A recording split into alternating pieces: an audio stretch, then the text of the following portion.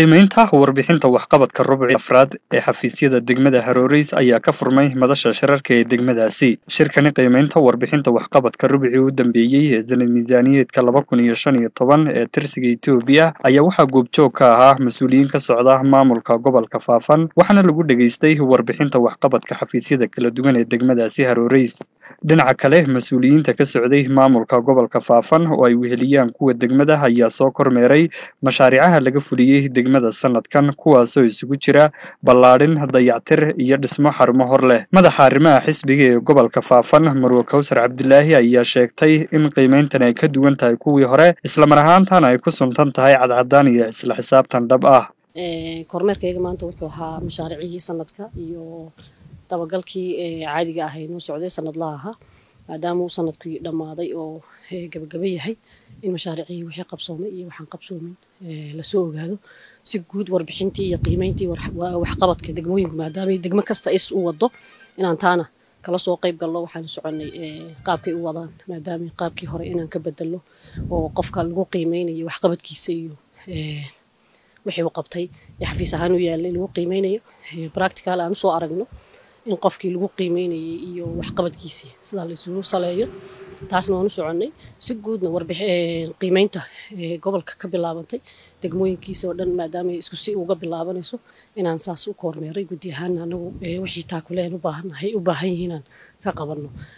Taasaan u soconnay. Ta kale waxaa noo barbar socotay mashaariicihiyo halla in la soo gebagabeeyey oon soo aragno wixii mashaariicii u soo qabsoomay sanadkan ahaa iyo wixii kal hore ka soo wareegayba sidai ay yihiin inaan si guudba wixii sanadka u qorshaysnaa meeshay noo marayaan ee xaalku meeshu marayo aan soo eegno ta kale. Waxaa noo barbar socotay abaabulkii dhanka dalag iyo daryeel iyo dhirayntii dhinaceedu iyaduna nooga socotay. Wixii dhirayn loo qabtay iyo inay dhirayntu halkay ka marayso ka degmo ahaan taasna waan noo barbar socotay ta kale dhaqoo dheefsan halkay wax marinayaan inaan ka qayb qaadno.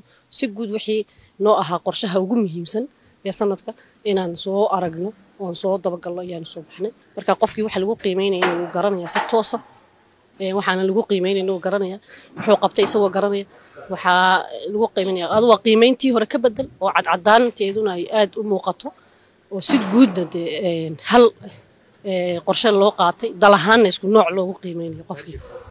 Dhankiisa madaxa xafiiska maaliyadda ee degmada haroreys mustafa cabdi maxamuud ayaa ka warbixiyey mashaariicda laga fuliyey degmada sanadkani. Saan la soconno sanadku kule waa warbixintii laba tobanka bilood oo ugu dambeysay. Guud ahaan waxaa la kormeerayey mashaariicdii qorshaysnayd labada kun iyo shan iyo tobanka. Waxaa ka mid ahaa kulley mashaariicda sanadka labada kun iyo shan iyo tobanka ee ugu waaweyn ee degmada waxaa ka mid ahaa hadda goobtan aan ku sugannahay oo ah xarunta ballaarinta caafimaadka oo iyadu way dhammaatay adeegii loogu talagalana macnaha way bilowday. Sidoo kale waxaa ka mid ahaa deyrar iyaguna laba deyr oo ka ah deyrka xafiiska beeraha iyo deyrka xafiiska booliska labadaasina kulley waa gebagaba iyaguna way dhammaadeen sidoo kale waxaa ka mid ah xafiiska dhismaha xafiiska waxbarashada. Kulley isaga caqabado xagga dhulka ka yar jiray oo in muddo ugu yar taagnaa muddo laakiin hadda waa la xaliyay caqabadahaasi oo waa la bilaabay isagana waa bilow. Sidoo kale waxaa jiray dayactiro iyagana ka mid yihiin hoolka shirarka iyo degmada oo isaguna hadda bilaabmay oo si fiican loo dayactiray dayactirkiisu dhammaaday. Sidoo kale waxaa ka mid ahaa iyaguna dayactirka guryaha martida oo iyaguna sana miisaaniyaedkan ka mid ahaa. Iyaguna kule way dhammaadeen oo adeeg way bixinayaan si guud waxaa iyaguna ka mid ahayd sidoo kale booyad iib oo degmada iyadana loo soo iibinayo maadaama waqti jiilaalka degmadu ay aamano u badan tahay ceelasha ay ku yar yihiin si ahaa tulooyinka qabaliyada ay ugu adeegtay iyaduna oo ay biyadhaan koo siiso.